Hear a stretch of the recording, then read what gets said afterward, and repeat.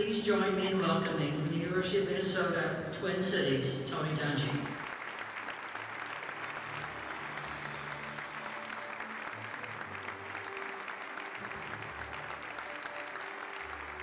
I think student athlete means just that, that you do both and you do both really well. Um, but the, the student part is first for a reason. I, I think it's there rightfully uh, for a reason. It shouldn't be athlete student, but it should be student athlete. Uh, one of the other big things that happened to me coming to University of, of Minnesota, uh, Jim Brewer was an All-American basketball player, and he had just come back from the Olympics uh, when I got there.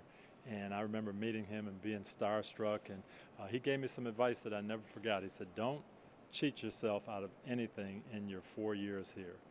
Take it all in, experience everything, on the court, on the field, and off."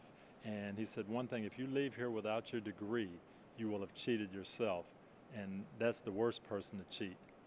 And when he told me that, I said, "Wow, that, that's really, really." great advice. And so I didn't want to cheat myself. I wanted to be a student and an athlete.